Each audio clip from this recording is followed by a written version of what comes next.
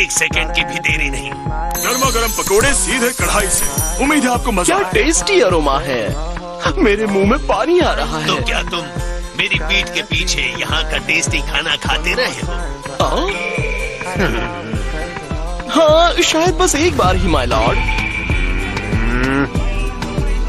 अच्छा दो बार। अच्छा तीन बार? अब एकदम सही नंबर बताना ज़रूरी नहीं है ना? आप खाइए ना नंबर्स क्या मायने रखते हैं बिल्कुल रखते हैं।